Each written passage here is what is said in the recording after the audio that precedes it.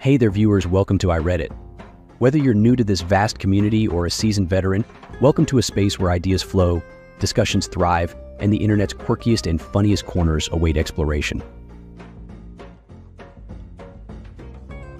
A mountain of a man has a high pitched, squeaky voice, so after years of rejection, he goes to the doctor. The doctor does lab work, examines the guy all over, and sits down with the man. Well, the doctor says all your labs, including your testosterone level, are absolutely normal. The thing is that your penis. Yes, doctor? What about my penis? Squeaks the man. You have an unusually large penis, and the weight is pulling on your vocal cords, making them produce a higher pitch.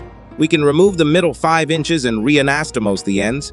The resultant weight reduction will allow your voice to return to a normal pitch for a man your size. The guy looks down into his lap and squeakily says, Okay, doc, do what you have to do. The doctor sets up the surgery, which is uneventful, and the guy wakes from surgery. The surgical nurse is there and gives him his discharge instructions, including instructions to return in three weeks and that he will find that his voice will be appropriately deep by then. Three weeks later, the guy shows up for his appointment, hugs the doctor, and says in a deep, manly voice, Doc, it worked perfect. I have a deep, manly voice now. Thank you so much. Don't mention it, squeaks the doctor.